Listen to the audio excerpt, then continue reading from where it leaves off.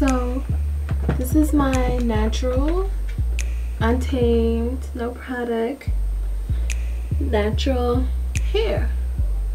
Um, I'll give you guys a brief story. I just recently started getting like really serious about it.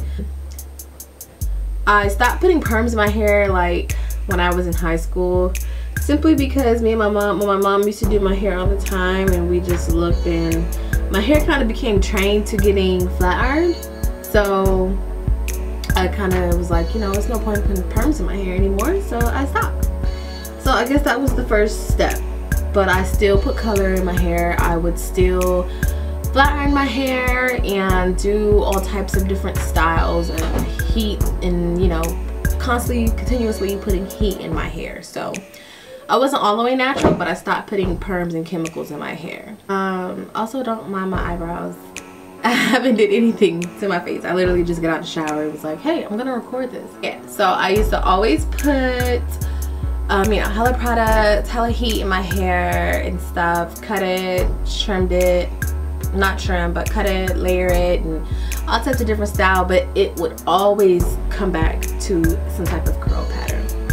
Um so that was in high school college i was still like so into like wraps and super straight hair um so right in college let's see i decided to join the air force and um I guess you could say I pretty much went natural in boot camp because, well, we didn't have anything else to do with our hair but put it back in a bun.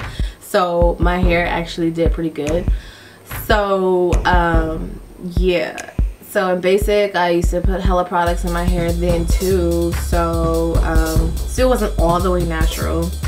So then um, came out of basic and then I met the love of my life and then I got pregnant your hair can get super duper strong super thick and just long and that's what mine did and I pretty much wore my hair natural my whole entire pregnancy. I think I only straightened it for my baby shower. And then um, after I had my beautiful son um, I decided I wanted to be sexy. So I cut my hair.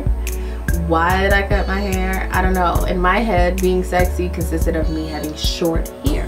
And it was really sexy but um, I didn't have to cut my hair to be sexy I don't know just a phase I was going through. So I ended up cutting my hair and I loved it for like a hot split season. And then when it got cool outside I was like bro I want to put my hair in a bun. But I can't because I ain't got no hair. Bye. So when I went through all of that oh hey uh, me and my husband and my family had to move to Japan. So we're over here across the world in this Asian country who knows nothing about natural hair and I'm here with short with a shortcut. And I barely know anything about taking care of natural hair myself so I'm over here stranded with short hair. Uh, I went through so many phases so texturizer because I thought tight coarse curls were just not it. So I got a texturizer because I didn't like it. I know it was stupid but I got it and it completely fucked up my whole excuse me. It completely messed up my whole entire hair texture. So once again I did not like the texture of my hair. So we went back home to visit and I got my homegirl Keisha to cut my hair in this sexy bob, um, not bob, but bowl cut. And it was red. I had her dye it red and it was beautiful. My hair was still natural and I had to come back to Japan and I also forgot again that hey, nobody here knows how to take care of short color damaged hair. And of course I got tired of that hair color. So I colored my hair again. So I went from red to black, two strong ass colors completely damaged my hair. My hair grew, but it was damaged. So I didn't want to straighten it anymore. I decided to do six months of non-stop protective styling. And in between each protective style, I did treatments, hot oil treatments, deep conditioning treatments, masks, all that. And just not, no heat, no nothing on my hair. And here I am today. And my hair, I'm completely happy with my hair. You know, like, you know, take care of your hair. This is all you got. Yeah, that's pretty much my hair journey. This is the style I ended up doing. And I ended up using just my Eco Styling Gel on my curls. And it kind of manipulated some of them because they just didn't want to act right.